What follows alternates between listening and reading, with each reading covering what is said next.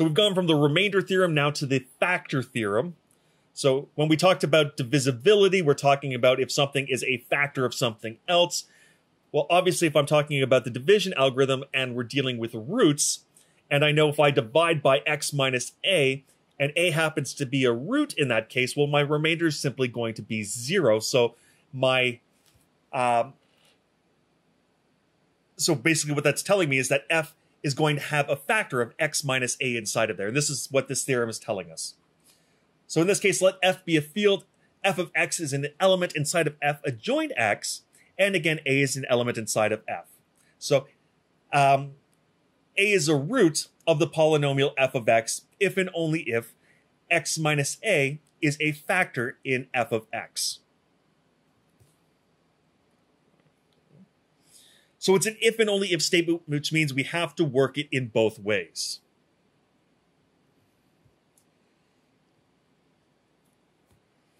So moving with the assumption that a is a root of the polynomial f of x, we want to be able to show that x minus a is a factor of f of x inside of f adjoint x. Now, this one is simply, we're just going to use the, the remainder theorem to show that this is going to be true, and then the, the, the definition of divisibility. So we assume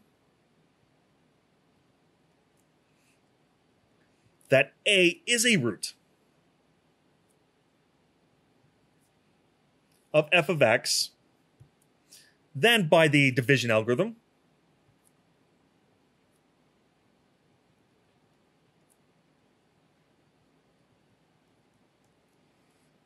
we have the following. This means I can take f of x, and I could write this as x minus a q of x plus plus r of x.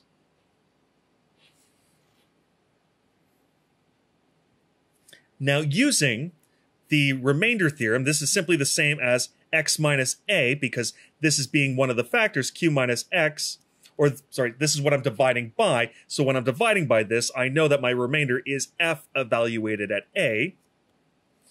But now we originally made the assumption that a is a root. So when I plug a into f, I'm just going to get zero So x minus a, q of x, f of x. So this is telling me that I could take f of x and I can write it as a product of x minus a and q of x. This for us is the definition of divisibility. So we say that x minus a is a factor, oops, not f of a, of f of x. So that's showing the, the one direction that we are there. Now we need to show the other direction. So in the other direction, we are now assuming that x minus a is in fact a factor, and we need to be able to show that it um, that a is a root of that polynomial. So we assume that x minus a is a factor.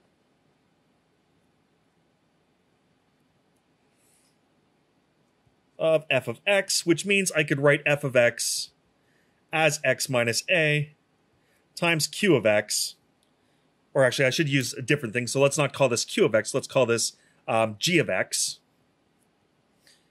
where g of x is an element inside of f adjoint x. Well, we just need to be able to show that a is going to be a, a root of this. And in order to do that, we just need to plug in a. So if I plug in f of a, well, this is going to give me a minus a g of x, or sorry, g of a, because I'm substituting in a for this. a minus a, this is just the zero element of g of a, which again is the zero element. Thus, a is in fact a, a root.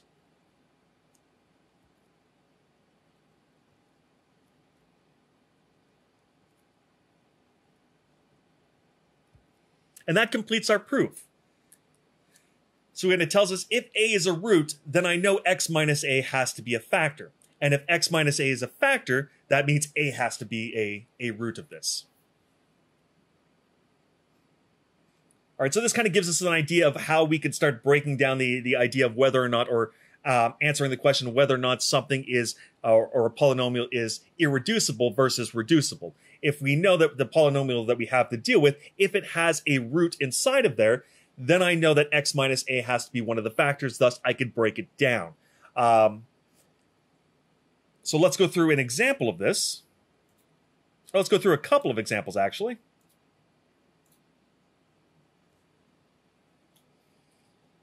So in example four, what we want to do here is we want to determine if h of x, which is going to be x minus 3, is a factor of f of x, uh, which is equal to x to the power of 6 minus x cubed plus uh, x minus 5. And all this is going to be done in z mod 7 adjoin x.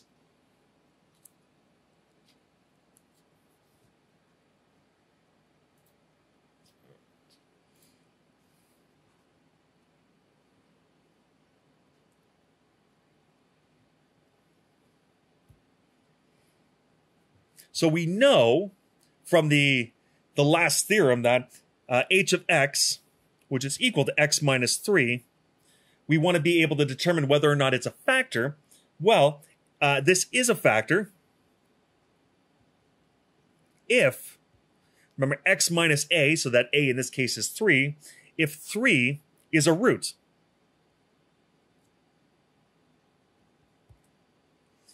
Now, I need to be careful when playing around with this one because, again, if I look at Z mod 7, I could think to myself, well, maybe I need to check all of the elements in inside of here. Uh, but really, it's specifically asking for the h of x being x minus 3. So in this case, I'm specifically looking at that element um, 3 inside of Z mod 7, and I want to show that that one is a root. And if that one is a root, then my x minus 3 will in fact be a factor. So I don't need to check everything, I just need to check that one. So if I plug in f of 3, uh, well, this is going to be 3 to the power of 6, which is 729. Um, I'll do the calculations at the end for being under uh, Z, uh, Z mod 7. Uh, minus, um, 3 to the 3, which is 27, uh, plus 3, minus 5, and this works out to being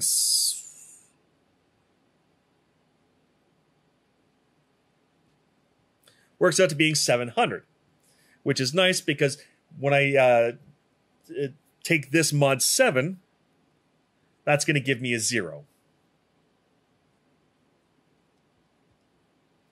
So it perfectly divides 7. So this means in Z mod 7, this is going to be a root. And because this is a root, then x minus 3 is a factor of f of x. So therefore, x minus 3 by that last theorem is a factor.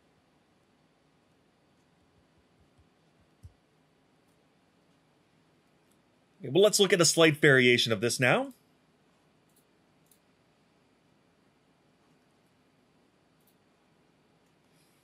So in terms of variation, I'm really just talking about the wording of this. So the last one we specifically asked if something is uh, uh, a factor of f of x, which is basically saying, can I reduce f of x? And then the answer to that would be to be yes, I can factor f of x.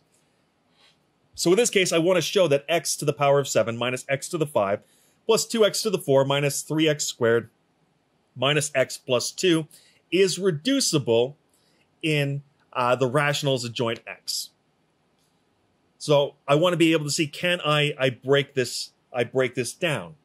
So the easiest thing to be able to do in this case is to determine whether or not I have a a root inside of here because being able to try and factor a, a degree seven polynomial, no thank you. There's no nice way of being able to do this. So let's look at those, those roots inside of there.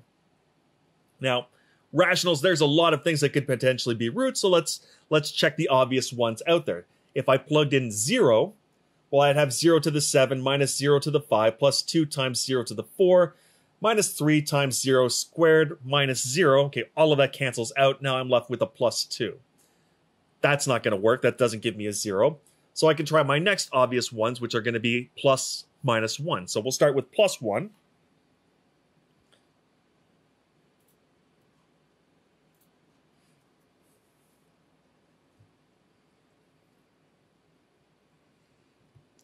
So example 5, again, I'll just write down f of x, x to the 7 minus x to the 5 plus 2x to the 4 minus 3x squared uh, minus x plus 2. So if I substitute and say x is equal to 1, what does this give me? f of 1. Um, 1 to the 7 is still going to be 1 minus 1 to the 5 minus 1. Uh, 1 to the 4 is still 1, so this is plus 2.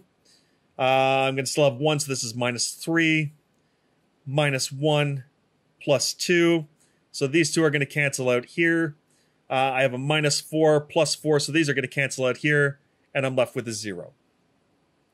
So this tells me that when I substitute 1, which is an element of the rationals, I'm going to get 0. Thus, by the factor theorem,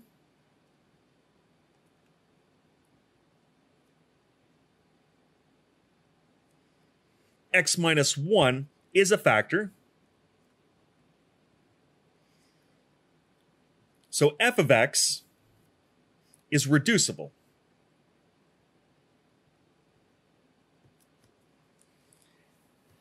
Now, in this case, if I went through the, the plus and minus one, I still didn't get anything out there. I could try different values, but I may want to think at this point in time there might be a better way of being able to do that. Um, we're not going to get to that part in this class. We'll probably get to that in the, the next class, but at least for this point in time, this is the, the one trick that we have. Let's try easy ones first. If we get somewhere, awesome. If we don't, okay, let's move on.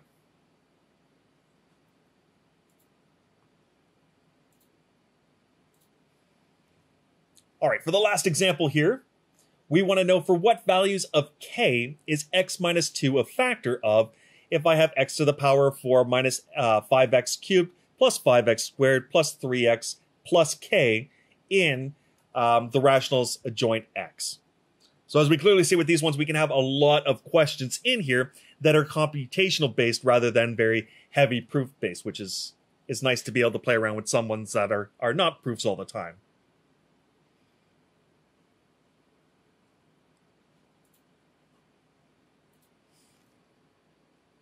All right, so example six.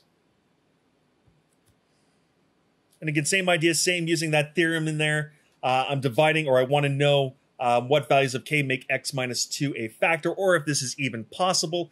Again, the value that I have to get out of there um, for k has to be a rational. Um, so if I work all this out and I get something that's not rational, well, then that's that's a problem, but that's not going to be an issue in this case. So I have f of x is equal to x to the 4 minus 5x cubed plus 5x squared um, plus 3x plus k.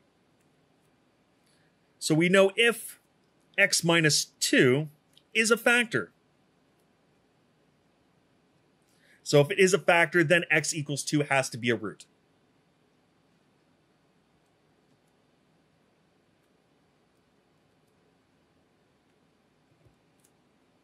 So to be able to figure out, well, what is that value of k? Well, that means when I substitute in, in 2 into this function f of x, I have to be able to get this equal to 0 in the end. So this will define what 2 or what k has to be. So f of 2, this is 2 to the 4 minus 5 times 2 to the 3 plus 5 times 2 to the 2 plus 3 times 2 plus k. And again, this all has to equal to, to 0. So working this all out, 2 to the 4 gives me 16. Uh, 2 to the 3 is 8 times 5 gives me 40, but minus 40. Uh, 2 squared 4 times 5 is 20, so plus 20. Uh, plus a 6 plus k is equal to 0. I can simplify what's on my, my left-hand side. This is going to work out to being 2 plus k is equal to 0 or k is negative 2.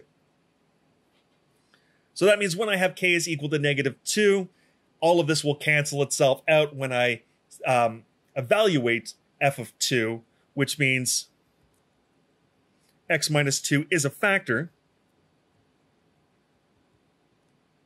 of f of x, which is x to the 4 minus 5x cubed plus 5x squared plus 3x. Um, now not plus k, it's going to be minus, minus 2. So all variations of questions basically asking exactly the same thing, but just simply using the the uh, uh, factor theorem. I was going to say remainder theorem, but it's not. It's the factor theorem.